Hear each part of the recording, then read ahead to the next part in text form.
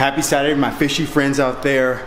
And I got another special, I don't know if it's considered rescue, but rehoming another fish.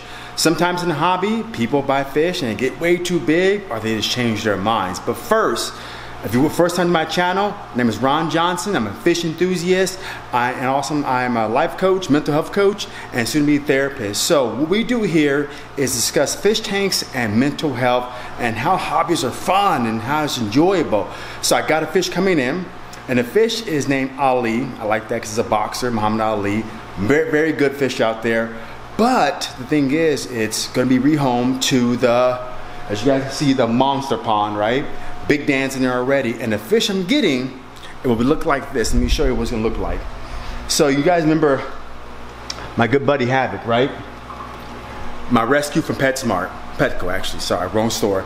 And I see a fish now, same species, red devil. I don't know how big it is. They said 12 inches, but it's bigger than Havoc. And it's gonna go in the monster pond, which is here.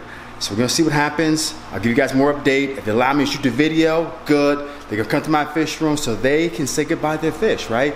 Fish are creatures and they're our pets. We need to take care of them. So I'm letting them say goodbye. There's great new fish coming in. I'm gonna get prepared and stay tuned for more coming. Okay, so okay, back now. Fish is in the pond and it was great people. I showed them my fish room. They were happy, excited. Ali, the Red Devil, is going to a new, better home, more space at least. They did a really good job taking care of the fish. Beautiful color, but he's needed more space to grow out. So I have him in a pond, and let me show you guys what he looks like.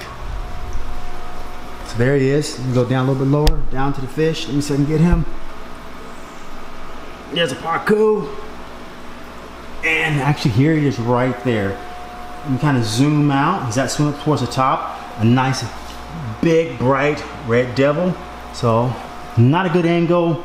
He's probably acclimating a little more. I can zoom in, but you can see is right there. And give him some time. Let him acclimate.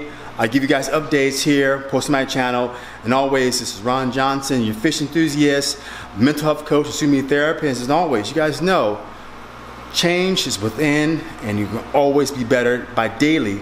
So stay tuned, subscribe, comment, share. See you soon. Thanks, Fishy friends.